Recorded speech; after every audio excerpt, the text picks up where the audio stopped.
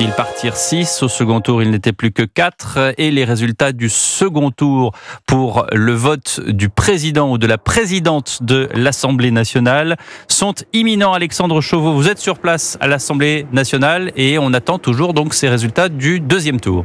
Oui, bonsoir Pierre. Il devrait être euh, annoncé par le doyen de l'Assemblée, José González, dans les toutes prochaines minutes. Si la logique était respectée, Yael Braun-Pivet devrait sortir en tête avec euh, autour de 210 voix. Elle bénéficierait en fait du euh, désistement du candidat LR Philippe Juvin et de la candidate Horizon Naïma Mouchou. Le communiste André Chassaigne, arrivé en tête au premier tour avec 200 voix, devrait garder lui sensiblement le même nombre de suffrages. Personne pour autant ne devrait obtenir de majorité absolue, d'où ce troisième tour et ce qu'il faudra surveiller, ce sont les, désistements éventuels. Est-ce que Sébastien Chenu ou Charles de Courson resteront en course? Si oui, alors le résultat du troisième tour devrait être le même que celui du second tour.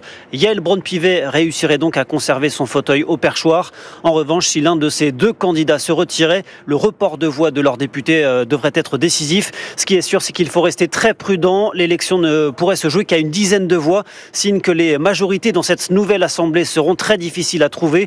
Un mot enfin sur euh, l'ambiance de ces deux premiers tours, marqués par le refus des députés insoumis de serrer la main du Benjamin de l'Assemblée, Flavien Termet, ainsi que de la jeune députée Anan Mansouri, en raison de leur appartenance au RN ou au parti d'Éric Ciotti. Et, Alexandre Chauveau, juste une, question, puisque vous l'avez bien mentionné, on a besoin d'une majorité euh, absolue pour les deux premiers tours. Ça n'est pas le cas au troisième tour, ce qui permettrait ce que vous venez d'expliquer pour Yael Braun-Pivet. Exactement, les deux premiers tours se jouent à la majorité absolue. Il faut obtenir 289 euh, voix. Au troisième tour, en, revanche, une majorité relative euh, se suffit. Euh, donc, par conséquent, si les résultats du second tour hmm.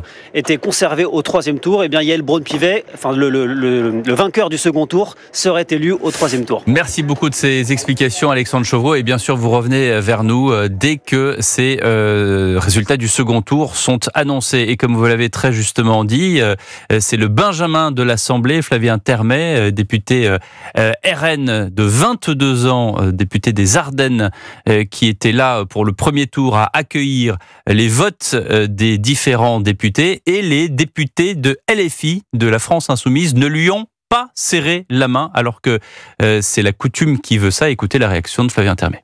Dans une large majorité des cas, ça s'est très bien passé. Euh, l'ensemble des groupes, euh, mis à part euh, une bonne partie de la France insoumise, ont été très aimables. On il y a eu des échanges de félicitations.